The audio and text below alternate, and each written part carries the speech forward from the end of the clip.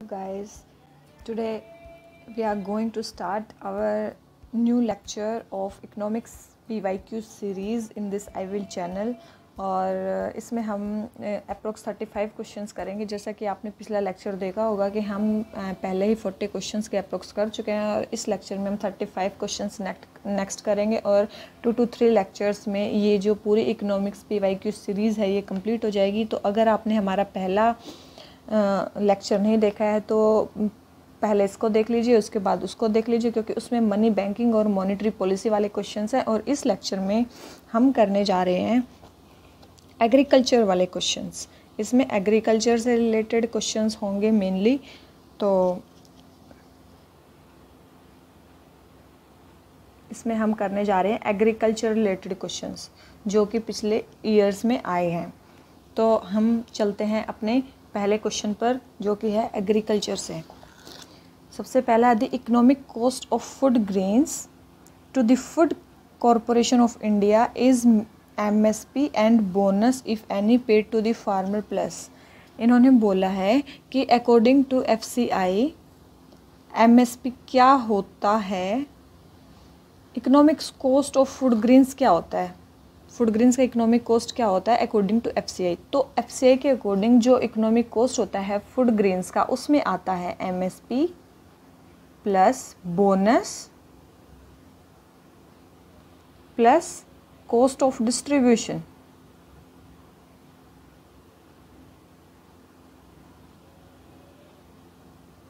ठीक है? और cost related to procurement procurement cost ये फोर कॉस्ट आते हैं according to F C I economic cost of food grains में।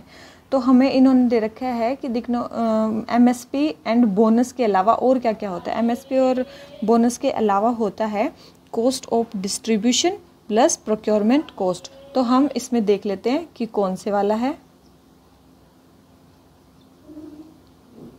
तो इसमें आंसर है transport cost only no interest cost only no procurement, incidental and distribution cost. This is the answer. अब हम second question पे आते हैं. Consider the following statement most of the India's external dept is owned by government entities ये factual questions हैं जो आपको आने ही चाहिए, ये इकोनॉमिक सर्वे और बजट में दिए हुए होते हैं तो आपको वो एक बार उसकी समरी तो पढ़नी ही होगी इन सब क्वेश्चंस को डील करने के लिए। तो और सेकंड स्टेटमेंट है all of the India's external dept is denominated in US dollars तो फ़र्स्ट क्वेश्चन देख लेते हैं फ़र्स्ट ऑप्शन देख लेते हैं। Most of the India's external dept is owned by government entities ये स्टेटमेंट रॉन्ग है, क्योंकि मैक्सिमम जो हमारा एक्सटर्नल डेप्ट है, वो प्राइवेट सेक्टर ओन करता है। As compare to public sector private sector हमारा ज़्यादा एक्सटर्नल डेप्ट है। और second statement all of the India's external dept is denominated in US dollar नहीं, ये स्टेटमेंट भी गलत ऑल ऑफ़ दी नहीं है। येस मैक्सिमम होता तो येस है। मैक्सिमम तो है बट ऑल ऑफ़ दी नहीं है। पूरा नहीं है, क्योंकि हमारा जो है यूएस डॉलर में भी है रुपी में भी हमारा डेप्ट है। एंड एस डी आर्स में भी है और ऐसे हमारा बहुत सारा डेप्ट है एक्सटर्नल डेप्ट ठीक है? तो बहुत स्टेटमेंट्स आर रॉन्ग तो इसका आंसर हो जाता है D neither one neither two क्योंकि इसमें पूछा है which of the following statements are correct तो करेक्ट तो एक भी नहीं है. तो हम थर्ड क्वेश्चन पे आते हैं. In the context of India which of the following factors are contributing to reducing the risk of currency crisis currency crisis में कौन सा कंट्रीब्यूटर होगा? रिड्यूस करने में करेंसी क्राइसिस को रिड्यूस करने में कौन सा कंट्रीब्यूट होगा? देखो करेंसी क्राइसिस को रिड्यूस करने में अगर आपने पहला लेक्चर देखा होगा तो आप इसको अच्छे से कर सकते हैं। अगर हम फॉरेन करेंसी की अर्निंग कर रहे हैं तो येस वो होगा, वो हमारा कंट्रीब्यूट करेगा रिस्क को रिड्यूस करने में। इंक्रीजिंग द गवर्नमेंट एक्सपेंडिचर देखो गवर्नमेंट अगर एक्सपेंडिचर करती है तो उसके, उससे रुपये की वैल्यू कमी होती है और करेंसी का जो क्राइसिस है, वो बढ़ेगा। ठीक है? तो ये स्टेटमेंट तो नहीं होगी। और थर्ड स्टेटमेंट है remittances from Indian Indians abroad yes अगर बाहर से पैसे आते हैं तो इंडिया के रेमिटेंसेज अगर बढ़ते हैं तो उससे उससे भी करेंसी क्राइसिस का रिस्क कम हो जाता है। तो इसका आंसर हो जाता है बी वन एंड थ्री तो अब हम आते हैं फोर्थ क्वेश्चन पे। Which of the following is issued by registered foreign portfolio investor to oversee investor who want to be part of indian stock market without registering themselves directly अगर foreign portfolio investors अगर India में register नहीं करना चाहते अगर कोई भी person without registering in Indian stock market और सेबी में रजिस्टर किए बिना ही इंडिया की मार्केट में इन्वेस्ट करना चाहता है तो उसको क्या करना होगा? तो उसको जो फॉरेन पोर्टफोलियो जो इन्वेस्टर हैं, उसको अपने पैसे देने होंगे और वो उसके बिहाफ पे, उस पर्सन के बिहाफ पे इंडियन मार्केट में किसी कंपनी में स्टॉक्स को इन्वेस्ट करेगा और इसके बदले कि आपने इन्वेस्ट किया है, इसके बदले जो ये एफ़ वाला है, ये इसको एक पी नोट देगा।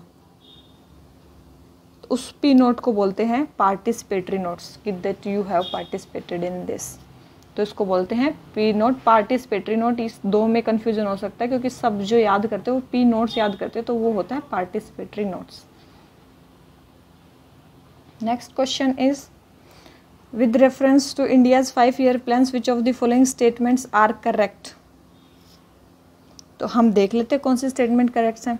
From the second five-year plan, there was a uh, determined thrust towards substitution of basic and capital goods industries. Yes, ये था कि हम अपने में ही अपने कंट्री में ही उनको एस्टेब्लिश करेंगे fourth five year plan adopted the objective of correcting the earlier trend of increased concentration of wealth and economic power yes this statement is also correct In the fifth five-year plan, for the first time, the financial sector was included as an integral part of the plan. नहीं ऐसा नहीं था। तो इस question का answer हो जाता है ए अब हम सिक्स क्वेश्चन पे आते हैं। Purchasing power parity purchasing power parity अगर आपने हमारे पिछले लेक्चर में देखा होगा तो उसमें समझाया गया है। तो purchasing power parity exchange rates are calculated by comparing the prices of same basket of goods and services in different countries yes ये statement correct है in terms of PPP dollars India is sixth largest economy in the world अगर PPP की बात करें तो India six largest नहीं है it's third largest सबसे पहले है यूएसए देन है चाइना एंड देन है इंडिया ये है फ़र्स्ट ये है सेकंड और ये है थर्ड तो ये है। तो पीपीपी में इंडिया का जो रैंक है वो थर्ड है। और जो फ़र्स्ट को स्टेटमेंट है वो करेक्ट है तो हमें पूछा है करेक्ट स्टेटमेंट तो येस वन इज़ करेक्ट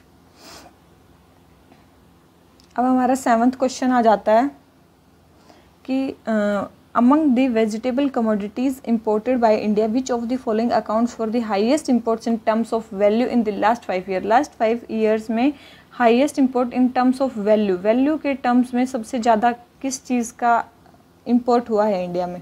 तो हम, अगर हमें कुछ भी नहीं पता इस क्वेश्चन के बारे में तो हम इसको कैसे डील कर सकते हैं? देखो स्पाइसेस स्पाइसेस तो इंडिया में बहुत सारे होते हैं। हम तो पुराने टाइम से स्पाइसेस को एक्सपोर्ट करते आ रहे हैं। तो स्पाइसेस तो इंडिया में है ही।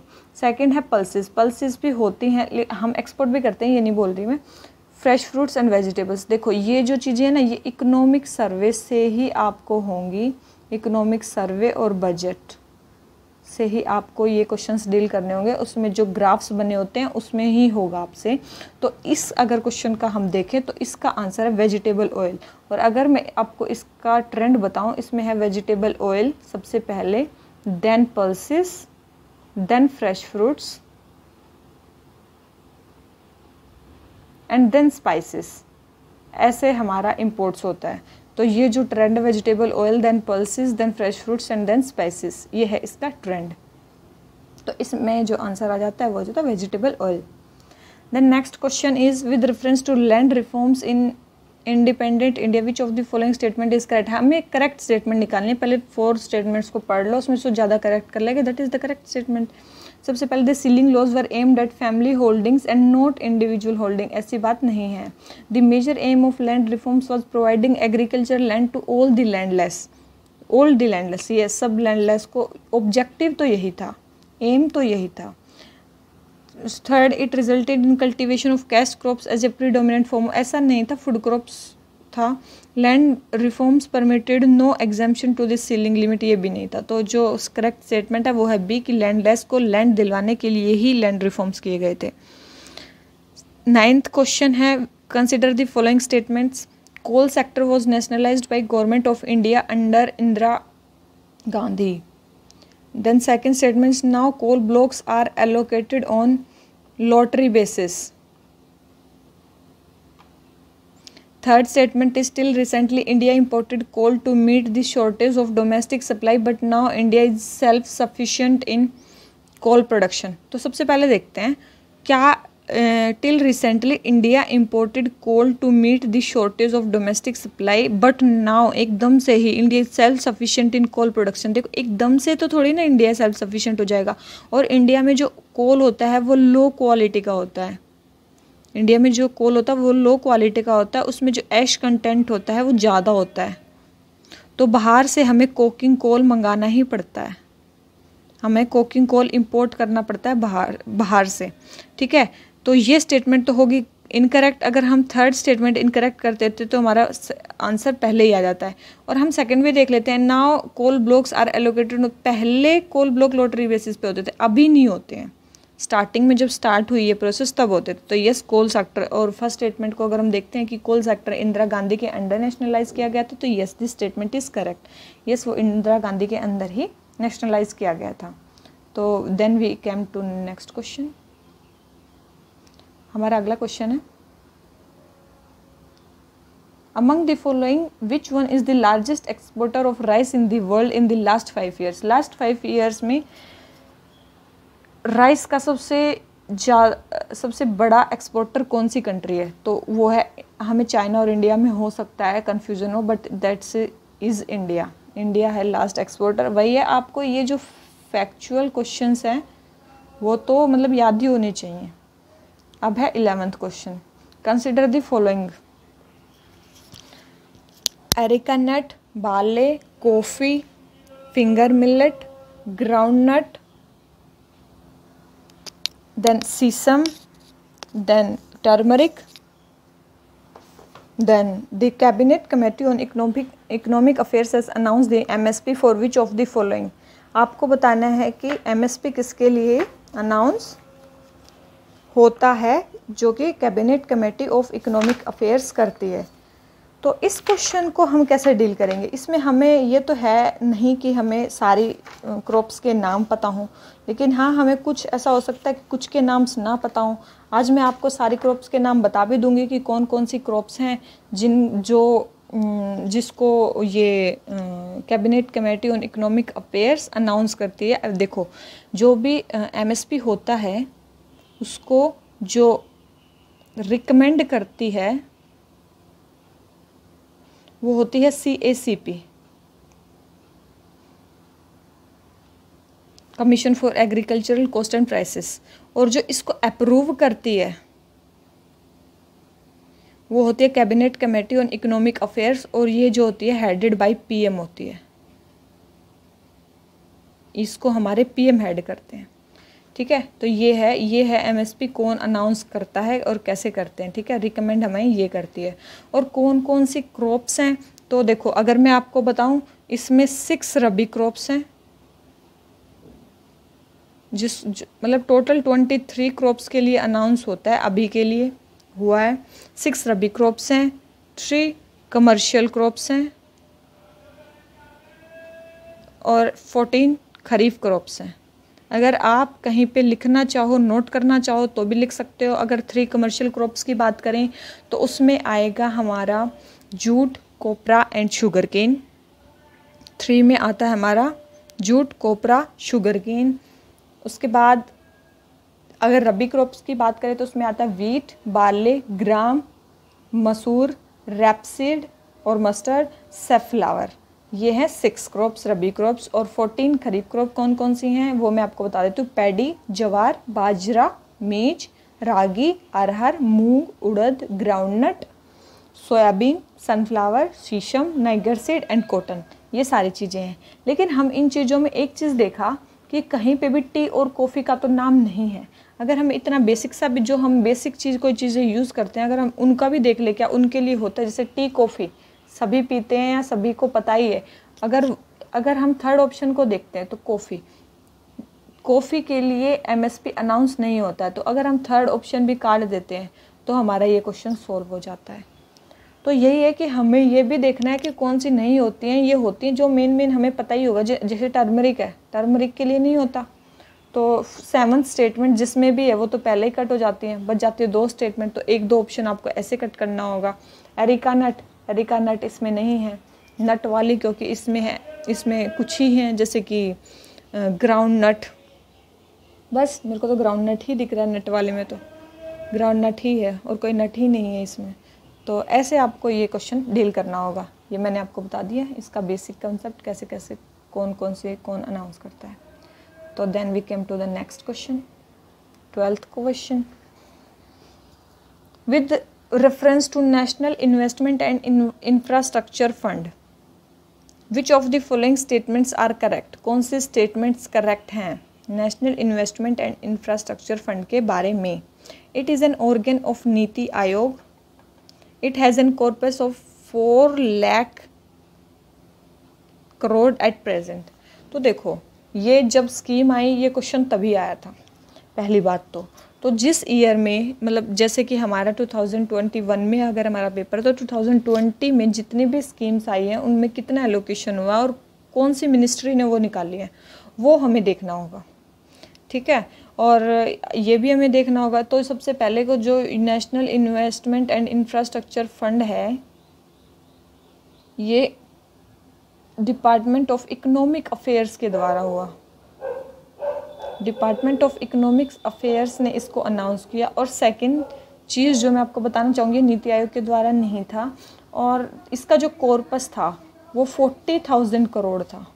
क्या था वो? फोर्टी थाउज़ेंड करोड़ था, ना कि फोर लाख करोड़ तो ये स्टेटमेंट भी रॉन्ग हो जाती है तो इसका आंसर आ जाता है डी आई मतलब ये मैंने क्रॉस का साइन लगा दिया। नेक्स्ट क्वेश्चन पे आते हैं question number thirteen consider the following statements this standard mark of bureau of Indian standard is mandatory for automotive tyre and tubes Agmark is a quality certification mark issued by food and agriculture organisation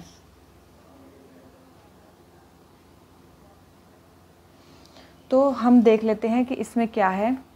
Standard mark standard mark standard mark क्या होता है? B I S वाला। तो जो standard mark and certification है, जो bureau of Indian standard है, ये सभी जो टायर्स हैं या ट्यूब्स हैं, सभी के लिए अनाउंस होता है। जो सब सामान होते हैं, उनके लिए तो आपको सभी को पता है ब्यूरो ऑफ़ इंडियन स्टैंडर्ड से उनको परमिशन लेनी बहुत ज़रूरी है।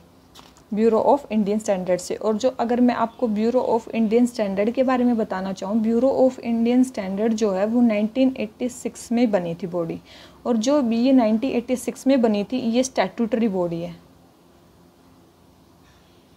कौन सी बॉडी है ये? स्टैटूटरी बॉडी है, ठीक है? स्टैटूटरी बॉडी है 1986 में बनी है। और तीसरी चीज़ जो इंटरनेशनल ऑर्गेनाइजेशन ऑफ़ स्टैंडर्डाइजेशन है, जिसको कि हम आईएसओ बोलते हैं इंटरनेशनल ऑर्गेनाइजेशन ऑफ़ स्टैंडर्डाइजेशन उसकी नोडल एजेंसी है ये in India nodal agency in India India में उसकी नोडल एजेंसी है ये आईएसओ की इंडिया में. ठीक है? और ये सभी सामान के लिए अपने मार्क्स जारी करती है. गोल्ड एंड ज्वेलरी मतलब गोल्ड एंड सिल्वर जो ज्वेलरी है, उसके लिए अलग है बट और सब जैसे कि हेलमेट हो गया कुकर हो गया टायर्स हो गया ट्यूब्स हो गया, इन सब के लिए बी आई एस ही हमारे स्टैंडर्ड्स जारी करती है। ठीक है, ये अपेक्स बॉडी है इंडिया में। तो ये हो गया हमारा बी आई एस अब हमारा आ जाता है एगमार्क अगर हम एगमार्क की बात करें, इसको एग्रीकल्चर मिनिस्ट्री देती है। ठीक है? और ये एग्रीकल्चर प्रोडक्ट्स के लिए दिया जाता है। ठीक है? और जो इसमें दिया गया है quality certificate issued by the F A O इसको एग्रीकल्चर मिनिस्ट्री ही देती है, इसको एफ़ ए ओ नहीं देती है। एग्रीकल्चर मिनिस्ट्री के द्वारा ये दिया जाता है। Ministry of agriculture and farmer welfare जितने भी प्रोडक्ट्स हैं उसके लिए। ठीक है? तो यही है इसमें तो। एग्रीकल्चर कमोडिटी सारी यूज़ हो जाती हैं। वूल कॉटन मीट ये सब इसमें यूज़ हो जाते हैं। एगमार्क जो है मिनिस्ट्री ऑफ़ एग्रीकल्चर देती है।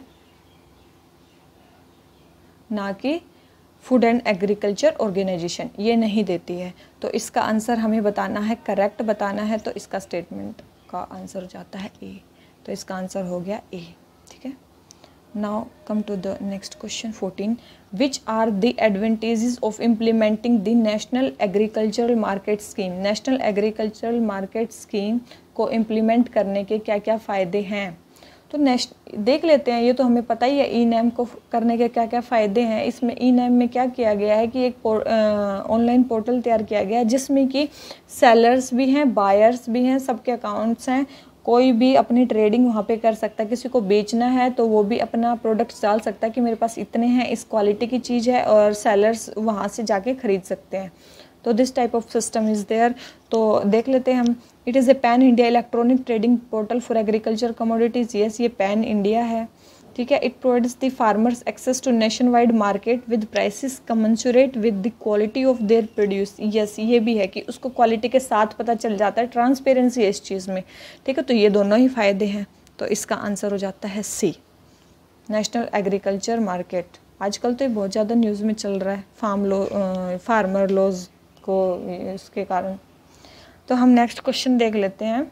Is reference to quality council of India consider the following statements quality council देखो, मैं पहले क्वालिटी काउंसिल के बारे में बता देती हूँ। जो क्वालिटी काउंसिल है ना, जैसे कि हमारा बी आई एस था ब्यूरो ऑफ़ इंडियन स्टैंडर्ड एक स्टेटूटरी बॉडी थी। जो ये क्वालिटी काउंसिल है, ये नॉन स्टेटूटरी है। ये एक नॉन स्टैटूटरी बॉडी है, सबसे पहली बात। सोसाइटी रजिस्ट्रेशन एक्ट में ये रजिस्टर है। सोसाइटी रजिस्ट्रेशन एक्ट में ये रजिस्टर है और ये किस किस ने बनाई है? ठीक है? और ये जो है, किस किस ने बनाई है? उसमें बहुत सारे मतलब गवर्नमेंट ऑफ़ इंडिया है ही, प्लस तीन प्रीमियर इंडस्ट्री एसोसिएशंस हैं, जिसको बोलते हैं, तीनों तीनों कौन कौन सी हैं? ASSOCHAM C I I and FICCI ये याद रख लेना गवर्नमेंट ऑफ़ इंडिया प्लस इन तीन इंडस्ट्री ऑर्गेनाइजेशंस ने ये मिलके बनाई थी और ये अभी नहीं बनी ये 1997 में बनी हुई है ठीक है कब बनी हुई है ये 1997 में और इसका जो चेयरमैन है इसके चेयरमैन को प्राइम मिनिस्टर अपॉइंट करते हैं क्वालिटी काउंसिल के जो चेयरमैन हैं उनको प्राइम मिनिस्टर अपॉइंट करते हैं on the recommendation of industry to the government जो इंडस्ट्रीज़ के, इनके ही जो चेयरमैन होते हैं, वही उनको अनाउंस करते हैं। ठीक है? तो अब हम स्टेटमेंट्स पढ़ लेते हैं कि इसमें क्या क्या लिख रखा है। तो सबसे पहले है कि quality council of India was set by government of India and Indian industry yes Indian industry में ये तीन प्रीमियर ऑर्गेनाइजेशन है, लेकिन हाँ ये स्टेटमेंट करेक्ट है। दूसरा the chairman of quality council of India is appointed by prime minister on the recommendation of industry to the government yes ये भी अभी बताया कि प्राइम मिनिस्टर को अनाउंस करता है तो क्वालिटी काउंसिल ऑफ़ इंडिया के बारे में ये सारी चीज़ें हमें पता होनी चाहिए।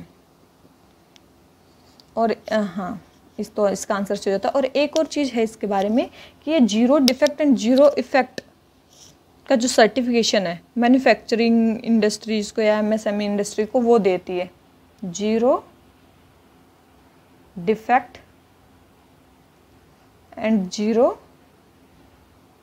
effect zero defect और ज़ीरो इफ़ेक्ट ये दो को ये सर्टिफिकेशन देती है। ये इस चीज़ का सर्टिफिकेशन जो है क्वालिटी काउंसिल ऑफ़ इंडिया देती है। ये चीज़ें याद रखना। बहुत ज़्यादा इंपॉर्टेंट है ये। फाइव टू सिक्स चीज़ें क्वालिटी काउंसिल ऑफ़ इंडिया के बारे में, क्योंकि प्रीवियस ईयर्स में ये क्वेश्चन आ भी चुका है। और और एग्ज़ाम्स में आने के काफ़ी चांसेस हो जाते हैं। अगर एक बार कोई क्वेश्चन यूपीएससी में आ जाता है तो। तो हम सिक्सटीन क्वेश्चन देख लेते हैं। Recently India's first investment and manufacturing zone was propose to be set up कहाँ सेटअप हुआ? देख, देखो, सबसे पहले, अगर हम बात करें सबसे पहले के तो सबसे पहले जो हुआ है, वो इसका जो आंसर है, वो है आंध्र प्रदेश। इसका जो आंसर है, वो है आंध्र प्रदेश। आंध्र प्रदेश में सबसे पहले सेटअप करने की प्रपोज हुआ था। लेकिन अभी we have more than fifteen national investment manufacturing zone जैसे कि हम बात करें, अभी हमारे पास जो है फिफ्टीन प्लस हैं, ठीक है? जैसे कि हम बात करें अहमदाबाद, धोलेरा इन्वेस्टमेंट रीजन जो कि गुजरात में है, दादरी, नोएडा, गाजियाबाद इन्वेस्टमेंट रीजन जो कि यूपी में है, और जो मानेसर, बवाल इन्वेस्टमेंट रीजन जो कि हरियाणा में है। ये हैं जो कि बहुत सा, और भी बहुत सारे फिफ्टीन प्लस हैं, जैसे कि मैंने तीन के नाम बताए तो ये है कि सबसे पहले जो सेटअप का प्रपोजल हुआ था, वो आंध्र प्रदेश के लिए हुआ था। अब हम नेक्स्ट क्वेश्चन पे आते हैं question number seventeen with reference to Pradhan Mantri Fasal Bima Yojana consider the following statements under this scheme farmer have to pay a uniform premium of two for any crop they cultivate in any season of the year ठीक है? और दूसरा question है this scheme cover post harvest losses arising out of cyclones and unseason rains देखो, मैं आपको बताती हूँ कि फार्मर्स को प्रीमियम जो पे करना पड़ता है, सभी क्रॉप्स के लिए सेम नहीं, सही, सभी क्रॉप्स के लिए सेम नहीं देना पड़ता है। सबके लिए अलग है। जैसे कि अगर हम खरीफ की बात करें तो उसके लिए टू परसेंट है रबी की बात करें उसके लिए वन पॉइंट फाइव परसेंट है। अगर हम कमर्शियल क्रॉप्स या कैश क्रॉप्स या फिर आ, उनकी बात करें तो उनके लिए जो है वो हॉर्टिकल्चर या जो कमर्शियल क्रॉप्स हैं उनकी बात करें तो हॉर्टिकल्चर या कमर्शियल क्रॉप्स की बात करें तो उसके लिए फाइव परसेंट है। तो सबके लिए जो ये चीज़ है ये सेम नहीं है। तो पहला क्वेश्चन तो हो जाता है गलत। Under this scheme the farmer have to pay uniform premium uniform premium नहीं है। ठीक है टू परसेंट केवल और केवल खरीप्स के लिए। Second this scheme cover post harvest losses arising out of cyclone and unseasonal rains yes this statement is totally correct post harvest losses को जो कि साइक्लोन वगैरह के कारण आते हैं, उसमें किया जाता है और ये भी जो होता है up to a maxim up to a maximum period of fourteen days from harvesting केवल फोर्टीन डेज़ तक ही होता है। हार्वेस्टिंग के बाद जिस, जब वो कट एंड स्प्रेड कंडीशन में होती हैं मतलब उनकी हार्वेस्टिंग के बाद जो कट एंड स्प्रेड कंडीशन में होती हैं फोर्टीन टू फिफ्टीन डेज़ तक, केवल तभी के लिए ये जो, ये है पोस्ट हार्वेस्ट लॉसेस ये हैं। तो ये स्टेटमेंट करेक्ट है ये पोस्ट हार्वेस्ट लॉसेस तो लेकिन अप टू फोर्टीन डेज़ ही हैं ये। अप टू फोर्टीन डेज़ ही है ये, ठीक है? तो इसका आंसर क्या, कौन सा, क्या पूछा? करेक्ट पूछा है तो करेक्ट तो स्टेटमेंट टू ही है, बस। ठीक है? अब हम आ जाते हैं उडे स्कीम में। The following is the purpose of UDAY scheme a scheme of the government क्या है उडे स्कीम? उडे स्कीम है क्या? देखो एक स्कीम है गवर्नमेंट की उड़ान। उड़े देश का आम नागरिक। But this is not the same UDAN अलग है और उदय स्कीम अलग है। उदय उदय स्कीम की जो आ, अगर हम बात करें तो जो उदय स्कीम है, उसका जो नाम है, वो है उज्जवल डिस्कॉम एश्योरेंस योजना। उज्जवल डिस्कॉम अश्योरेंस योजना। ये 2015 में लाई गई थी। क्यों लाई गई थी? क्योंकि जो डिस्कॉम कंपनीज़ है ना, इलेक्ट्रिसिटी को जो डिस्ट्रीब्यूट करती हैं, वो डिस्कॉम कंपनीज़ वो बहुत ज़्यादा घाटे में चली गई थी। तो उनके रिवाइवल के लिए 2015 में फाइनेंशियल या ऑपरेशनल उनको बैक करने के लिए गवर्नमेंट ने उनमें, उनके लिए एक स्कीम चलाई थी, उज्जवल डिस्कॉम अश्योरेंस योजना। ठीक है? और ये गवर्नमेंट के एक गवर्नमेंट का एक विज़न है, हमारे प्राइम मिनिस्टर सर का एक विज़न है कि affordable and accessible twenty four into seven power for all उसमें एक ये मेजर वो है। मेजर योजना है उसके लिए एक, ठीक है? जिसमें हम रिवेन्यू साइड एफिशिएंसी और कॉस्ट साइड एफिशिएंसी पे ध्यान देते हैं। तो अब हमें देखना है पावर डिस्ट्रीब्यूशन कंपनीज़ की हमें बात करनी है। तो इसमें हम देख लेते हैं कौन सी स्टेटमेंट ठीक है। Providing technical and financial assistant to startup entrepreneurs नहीं स्टार्टअप्स के लिए नहीं है। प्रोवाइडिंग इलेक्ट्रिसिटी इलेक्ट्रिसिटी प्रोवाइड नहीं करनी डिस्कॉम कंपनीज़ को अश्योर करना है कि you are right and we will financially back you replacing coal based power plants with natural gas plants ये भी नहीं है। तो providing for financial turnout and revival of ये है। पावर डिस्ट्रीब्यूशन कंपनीज़ को रिवाइवल के लिए है ये प्लान तो आपको बस ये भी पता होना चाहिए कि ये इसकी फुल फॉर्म अगर आपको फुल फॉर्म पता होगी तो आपको ये भी पता चल जाएगा कि किस चीज़ के बारे में बात कर रही है। तो अप्रोक्स आप उसके बारे में तुक्का भी लगा सकते हैं। तो अब हम आ जाते हैं अपने नेक्स्ट क्वेश्चन पे। In the index of eight core industry which of the following is given is the highest weight तो देखो इसमें तो आपको हाईएस्ट टू लोएस्ट पता ही होना चाहिए, तभी आपको पता होगा। तो मैं तो आपको बोलूँगी कि आप एक ट्रिक याद कर लीजिए। R E S C C N C F अगर आपने ये याद कर लिया ना, मान लो याद कर लो, इसको याद ऐसे कर लो कि रेस्ट करके कोका कोला पियो, नहीं तो कॉर्नफ्लेक्स खा लो। ये हो सकता है। मतलब आपको याद करना है कैसे भी बनाओ बट ये है कि रेस्ट करो कोका कोला पियो, नहीं तो कॉर्नफ्लेक्स खाओ। ये चीज़ हम ऐसे याद कर सकते हैं। और ये जो ये जो सीक्वेंस जो मैंने दिया है ना, ये हाईएस्ट टू लोएस्ट है। मतलब इधर हाईएस्ट है और इधर लोएस्ट है। तो अब आप इसमें से देख, अब इसमें कुछ चीज़ें आपको याद करनी पड़ेंगी। जैसे कि ये है रिफाइनरी ये है इलेक्ट्रिसिटी ये है स्टील ये है एक है इसमें कोल एक है क्रूड ऑयल एक है नेचुरल गैस एक है सीमेंट और एक है फर्टिलाइज़र। ठीक है? ये ऐसे ऐसे इसकी सीक्वेंस है। तो अब मैं आपको बताऊँ इसमें पूछा है कि आ, कौन सा हाईएस्ट है? हाईएस्ट तो रिफाइनरी है लेकिन रिफाइनरी तो इसमें दे ही नहीं रखा। तो इसमें सेकंड दे रखा है इलेक्ट्रिसिटी तो आप इलेक्ट्रिसिटी पे निशान लगा सकते हैं। उसके बाद है स्टील फर्टिलाइज़र है सबसे लास्ट में और कोल और क्रूड ऑयल इसके बाद आ जाते हैं। तो आप अगर ये ट्रिक याद रख लेते हैं, यही है जो फोर्टी परसेंट हमारे कोर इंडस्ट्रीज़ जो हमारे होते हैं, उसमें कंट्रीब्यूट करती हैं। ये क्वेश्चन काफ़ी बार आता है तो आपको अगर ट्रिक याद कर लोगे तो आपको ये क्वेश्चन से याद हो जाएँगे। तो नेक्स्ट क्वेश्चन आते हैं F R P of sugarcane is approved by sugarcane का एफ़ आर पी कौन बताता है? तो जो सॉरी जो एमआरपी बताता है, वही एफआरपी बताता है। इसमें पूछा है अप्रूव अगर आपने क्वेश्चन को ध्यान से देखा हो तो इसमें है अप्रूव्ड बाय रिकमेंडेड बाय नहीं अप्रूव कौन करता है? तो अप्रूव तो cabinet committee on economic affairs करती है। ठीक है? Cabinet committee on economic affairs approve करती है। अगर उसमें होता रिकमेंड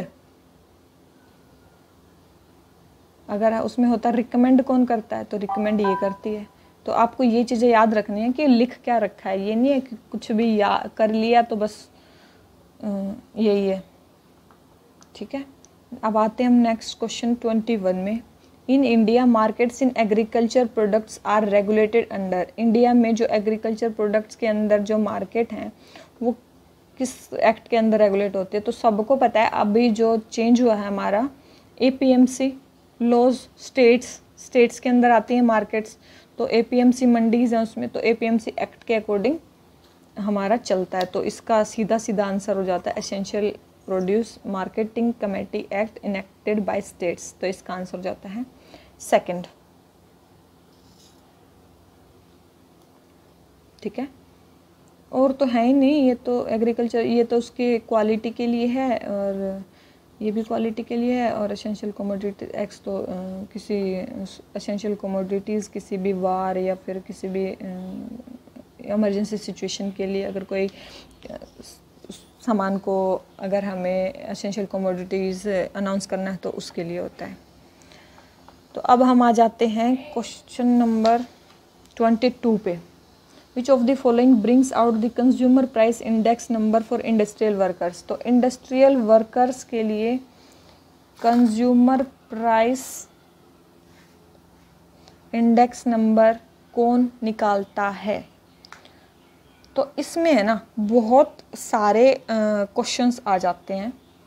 अगर मैं आपको बताऊँ कि ये केवल एक ही इंडेक्स नहीं है, और भी बहुत सारे इंडेक्स आते हैं इसमें। ठीक है? तो मैं आपको वो सारे इंडेक्स अभी बताऊँगी थोड़ी देर में। देखो, सबसे पहले अगर हम बात करें, केवल इंडस्ट्रियल वर्कर्स की मैं बात करूँ तो इंडस्ट्रियल वर्कर्स के लिए तो लेबर ब्यूरो है ही। लेबर ब्यूरो निकालता है। इस क्वेश्चन का आंसर अगर हम देखें तो लेबर ब्यूरो है। कंज्यूमर प्राइस इंडेक्स नंबर जो इंडस्ट्रियल वर्कर्स के लिए निकालता है, वो है लेबर ब्यूरो ठीक है? लेकिन और भी बहुत सारी चीज़ें हैं, जैसे कि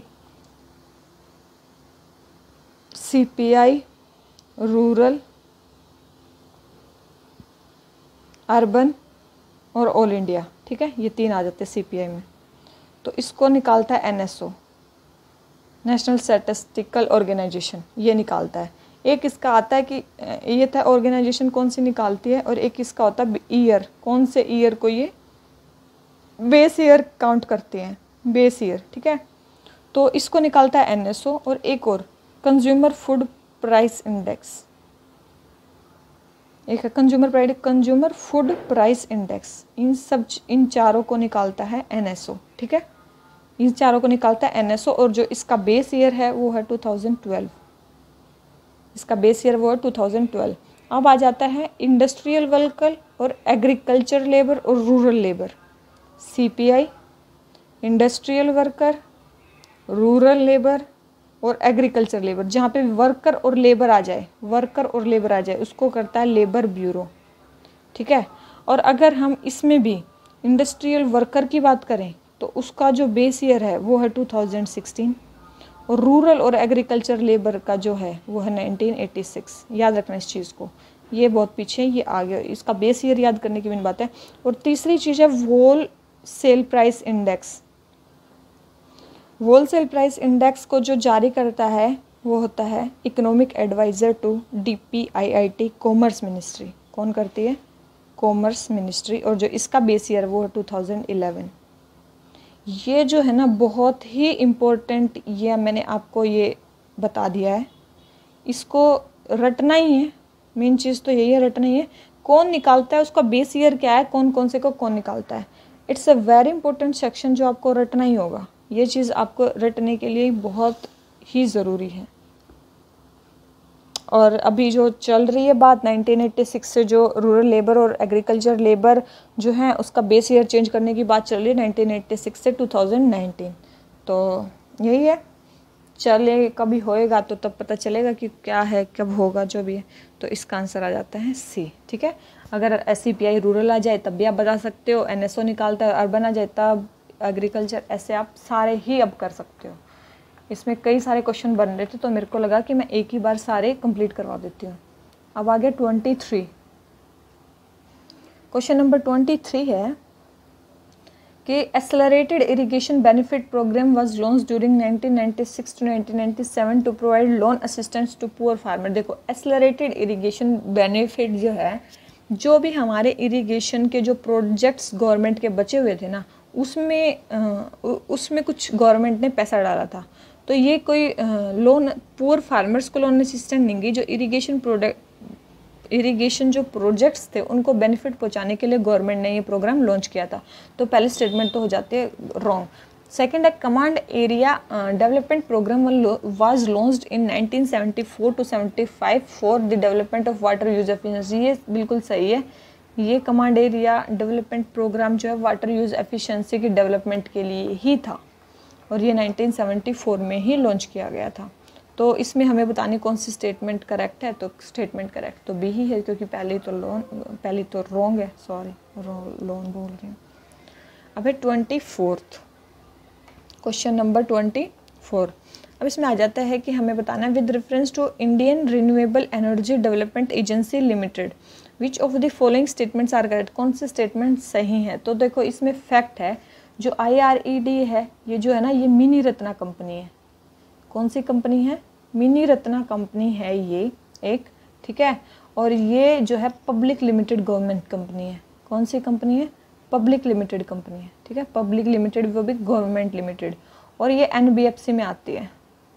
नॉन बैंकिंग फाइनेंशियल इंस्टीट्यूशंस में आती है। ठीक है? और 1987 में ये बनी है। ठीक है? ये सारी चीज़ें याद है। और किसके अंदर आती है? Ministry of new and renewable energy के अंदर ही आती है। मतलब किस मिनिस्ट्री के अंदर आती है तो ये भी बता दिया। तो हम स्टेटमेंट्स देख लेते हैं। It is a public limited government company yes it is correct it is a N B F C yes ये भी करेक्ट है। तो दोनों ही स्टेटमेंट करेक्ट है। तो इसका आ जाता है। और जो इसका मोटो है, अगर मैं इसके मोटो की बात करूँ तो वो है energy for ever energy for ever energy for our ये इसका मोटो है। ठीक है? इसमें इतनी सारी चीज़ें आपको याद करने के लिए हैं। तो अब हम आ जाते हैं नेक्स्ट क्वेश्चन पे। कि in India steel production industry require import हमें क्या इम्पोर्ट करना पड़ेगा? देखो स्टील के लिए हमें चाहिए कोकिंग कोल या मतलब अच्छी क्वालिटी का कोल उसको बोलते हैं कोकिंग कोल और जो मैक्सिमम इंडिया में कोल होता है, वो नॉन कोकिंग कोल होता है। ठीक है? तो हमें जो है, जो कोल है, ये बाहर से इम्पोर्ट करना पड़ता है कोकिंग कोल को। और जो स्टील आजकल जो हम प्रोड्यूस कर रहे हैं, उसमें सेवेंटी परसेंट उसी कोल की ज़रूरत पड़ती है। मतलब उस कोल की ज़रूरत पड़ती है कुकिंग कोल की। तो हमें ये बाहर से ही इम्पोर्ट करना पड़ता है। ठीक है? तो यही है। और इंडिया में जो इम्पोर्ट करती है, वो सेल है। और या फिर जो भी स्टील मैन्युफैक्चरिंग कंपनी है, जिसको भी ज़रूरी है तो वही। स्टील के लिए तो मेनली यही है। अभी अगर मैं बात करती हूँ नेक्स्ट क्वेश्चन की। ट्वेंटी सिक्स क्वेश्चन की, what are the significances of a practical approach to a sugarcane production known as sustainable sugarcane initiative? Sustainable sugar cane initiative क्या है? देखो सस्टेनेबल शुगर केन इनिशिएटिव जो था ना, वो एक इनोवेटिव मेथड था शुगर केन प्रोडक्शन का, जिसमें हम लेस सीड्स लेस वाटर और फर्टिलाइजर्स को कम यूज़ करेंगे और, कम लैंड को यूज़ करेंगे और हम ज़्यादा इल्ड प्रोड्यूस करेंगे। ठीक है? ये इसमें मेन था। सब कुछ कम यूज़ करना है और ज़्यादा प्रोडक्शन करना है। तो सीड कोस्ट और सीड कम यूज़ करेंगे तो seed cost is very low in compare to conventional method of देखो, ये चीज़ सही है। अगर हम सस्टेनेबल शुगर केन इनिशिएटिव में क्या था, यही चीज़ थी कि हम कम सीड्स को यूज़ करेंगे तो उसका कॉस्ट भी कम हो जाएगा। तो first statement is correct seed cost is very low is compare to conventional method of cultivation drip irrigation can be practiced very effectively. There is no application of chemical, there is no application of chemical or नहीं। कुछ ना कुछ fertiliser जैसे कि N P K fertiliser fertiliser तो use होंगे ये थोड़ी ना कोई फर्टिलाइज़र यूज़ नहीं होगा। वाटर के भी हमें एफिशिएंसी यूज़ करनी है। The scope of intercropping is more in this as compare to ये भी बिल्कुल सही है। तो जिसमें सेकंड नहीं होगा, भाई, नहीं सॉरी थर्ड थर्ड नहीं होगा जिसमें। थर्ड थर्ड थर्ड नहीं होगा तो ये आ गया बी तो इसका आंसर आ जाता है बी तो हमें देखना है कि देखो, हमें कम सीड्स यूज़ करने हैं, कम वाटर यूज़ करना है, कम फर्टिलाइज़र यूज़ कर, लेकिन फर्टिलाइज़र यूज़ करने ये नहीं है, करने ही नहीं है, ठीक है? तो यही है तो इसमें इंटरक्रॉप अगर हम कहीं कहीं पे बोएँगे और सारे ही हो जाएँगे तो वही इंटरक्रॉपिंग के लिए भी हमें थोड़ा स्पेस मिल जाएगा तो वही है तो ये क्वेश्चन इसका आंसर हो जाता है बी अब हमारा आ जाता है in context of affairs of which of the following in phrase special safeguard mechanism mention in the news frequently special safeguard mechanism कहाँ पे आता है? तो जो स्पेशल ये है सेफ़ गार्ड मेकेनिज़्म ये हमारा आता है डब्ल्यू में। ये डब्ल्यू का है एक। वर्ल्ड ट्रेड ऑर्गेनाइजेशन का है। अगर मैं वर्ल्ड ट्रेड ऑर्गेनाइजेशन के कुछ और टर्म्स आपको बताऊँ तो वो भी आपके लिए शायद बहुत काम की हो सकती हैं। तो जैसे कि हैं, अगर मैं बताऊँ टेक्निकल बैरियर्स टू ट्रेड ठीक है? और है sanitary and phytosanitary measures ठीक है? उसके बाद है subsidies and countervailing measures उसके बाद है एग्रीमेंट ऑन एग्रीकल्चर उसके बाद है ये ट्रिप्स ट्रिम्स गैट्स गैट ये सारे जो हैं ये डब्ल्यूटीओ से रिलेटेड है। जितने भी हैं ना ये टर्म्स ये सारे ही डब्ल्यूटीओ से रिलेटेड हैं। तो ये पा, ये पाँच सात टर्म जो हैं आप ये याद कर लेना और कहाँ कहाँ होते हैं। एग्रीमेंट ऑफ़ एग्रीकल्चर में तो वही जो सब्सिडीज़ जो होती है ना amber box green box blue box जो भी सब्सिडीज़ होती हैं वो सारी भी इसमें आती हैं। तो इसमें आ जाता है डब्ल्यूटीओ वाला कंसेप्ट अब आता है next question twenty eight which of the recent policy initiative of government of India to promote the growth of manufacturing sector manufacturing को प्रमोट करने के लिए गवर्नमेंट ऑफ़ इंडिया की क्या रिसेंट पॉलिसी है? तो इसमें देख लेते हैं setting up of national investment and manufacturing जो अभी थोड़ी देर पहले पढ़ा था येस वो तो है ही। हमें जहाँ पे मैन्युफैक्चरिंग करनी है, वहाँ पे इन्वेस्टमेंट करेंगे। Second providing the benefit of single single window clearances yes ये भी है।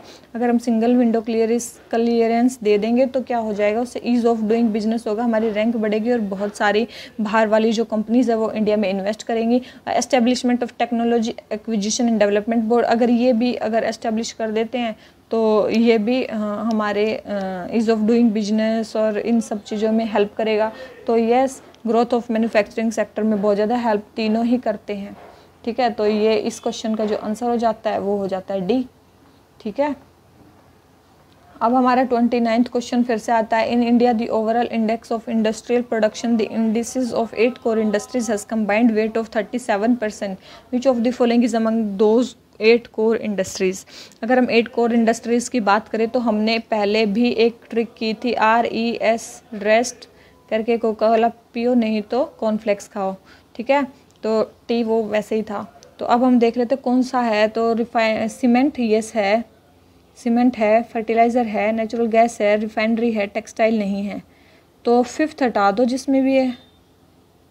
तो वन टू थ्री फोर है। ठीक है? तो ये हो गया कितना आसान क्वेश्चन है। अगर ऐसे ऐसे क्वेश्चन आप एक ट्रिक याद करने से आपके बहुत सारे क्वेश्चन हो जाते हैं।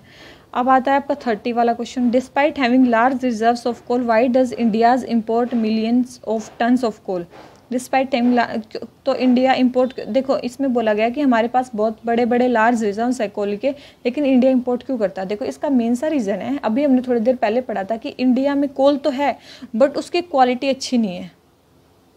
उसकी क्वालिटी अच्छी नहीं है उस कोल में ऐश का कंटेंट बहुत ज़्यादा है। लो क्वालिटी कोल है और ऐश कंटेंट बहुत ज़्यादा है। तो इसके लिए हमें कोकिंग कोल इंपोर्ट करना पड़ता है और बाहर से इंपोर्ट करना पड़ता है। ठीक है? सारा ही, जैसे कि स्टील के लिए सेवेंटी परसेंट मतलब वही कोल यूज़ होता है। तो इसीलिए हमें करना पड़ता है। तो अब हम देख लेते हैं। It is the policy of India to save its own coal reserve for the future and import it from other countries देखो, ये नहीं है। ये, इस चीज़ के लिए तो कम से कम हम नहीं कर रहे हैं। Second statement most of the power plants in India are coal based and they are not able to get sufficient supplies of coal हाँ देखो इंडिया में क्या है, बहुत सारे thermal coal based thermal power plants हैं, ठीक है? थर्मल पावर प्लांट्स हैं।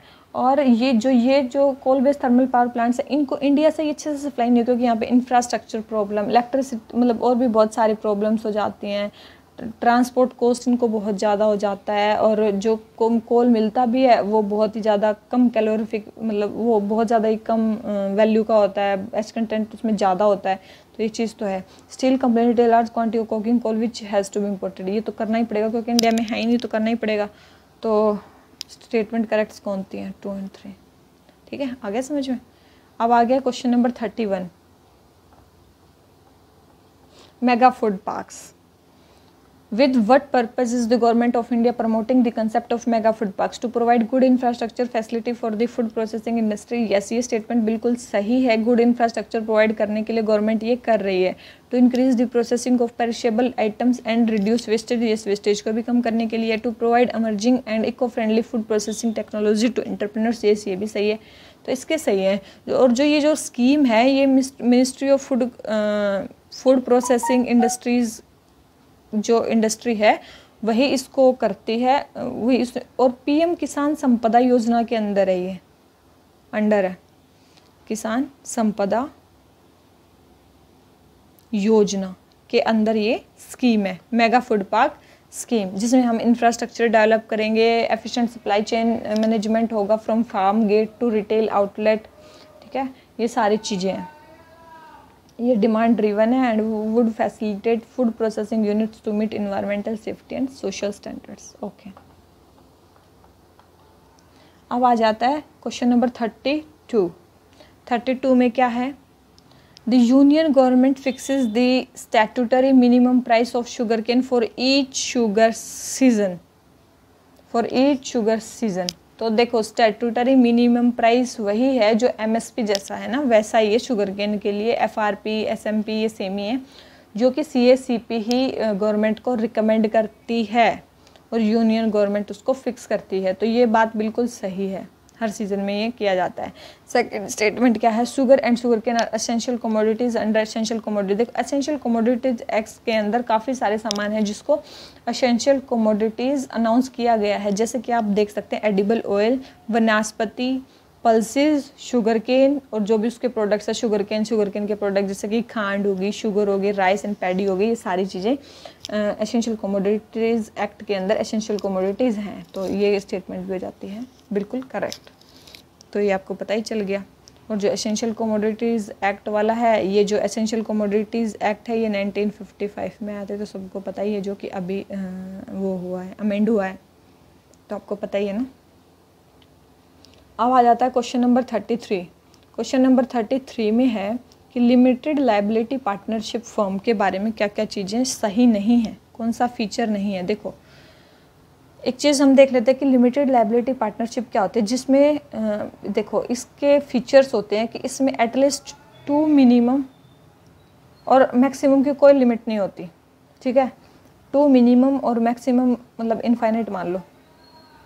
मिनिमम टू और मैक्सिमम कोई नहीं होती, ये इतने तो उसमें पार्टनर्स होने चाहिए। और ठीक है, और इनका जो होता है परपेचुअल सक्सेशन होता है और इनकी जो होती है लाइबिलिटी जो होती है, वो लिमिटेड होती है। लाइबिलिटी जो होती है लिमिटेड होती है। मतलब अगर इनका पहले ही एग्रीमेंट हो जाता है कि जैसे कि बाई चांस किसी दो ने मिलके कोई पार्ट कोई फर्म खोल है। अगर उसमें से जो एक बंदा है, एक बंदा अगर मतलब इंसॉल्वेंट हो जाता तो ये नहीं है कि दूसरे बंदे की प्रॉपर्टीज़ पूरी बेच देंगे और दूसरे बंदे के मतलब ऐसा नहीं है। लिमिटेड है। जिसको, जितनी उसकी पार्टनरशिप होगी, अगर वो अपना दे रहा है तो he would be free to do his things तो लिमिटेड लाइबिलिटी होती है इस चीज़ में, ठीक है?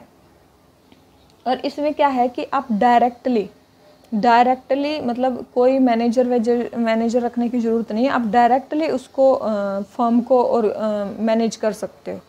डायरेक्टली आप उस फर्म को मैनेज कर देते हो। तो यही चीज़ है। अब देख ले, कौन सा फीचर नहीं बताया है कि partner should be less than twenty देखो, पहला स्टेटमेंट बोलते लेस देन नहीं मैक्सिमम तो लिमिट है ही नहीं। ठीक है तो और सारे सही होंगे। Partnership and management needs to be separate yes need not be separate yes internal governance में be decided by mutual agreement among partners it is a corporate body with perpetual succession देखा? तो ये स्टेटमेंट हो गया first ठीक है, इसका answer आ जाता है फ़र्स्ट अब आ गया thirty four special economic zone act 2005 which came into effect in February 2006 has certain objective in this context. Consider the following. Development of infrastructure facilities. क्या स्पेशल इकोनॉमिक जोन इसके लिए है? यस इंफ्रास्ट्रक्चर तो provide करता है. Promotion of investment from foreign sources promotion of exports of services only केवल services के exports के लिए है ये? सॉरी केवल सर्विसेज़ के एक्सपोर्ट्स के लिए ये? देखो नो no.